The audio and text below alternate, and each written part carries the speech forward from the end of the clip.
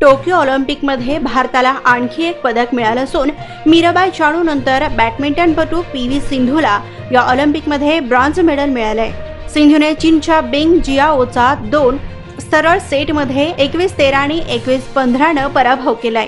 तर P V Sindhu लागोपाठ दोन ऑलिम्पिकमध्ये मेडल जिंकणारी पहिली भारतीय महिला तसंच दुसरी भारतीय खेळाडू ठरली आहे तर सिंधूने याआधी रिओ ऑलिम्पिकमध्ये देखील दोन हजार सोळा साली सिल्वर मेडल जिंकलं होतं. याआधी शनिवारी झालेल्या सामन्यामध्ये सिंधूचा चीनच्या ताईझू यिंगनं अठरा एकवीस एकवीस एकवीस असा पराभव केला होता. त्यामुळे तिचं गोल्ड मेडल जिंकण्याचं स्वप्न भंगलं.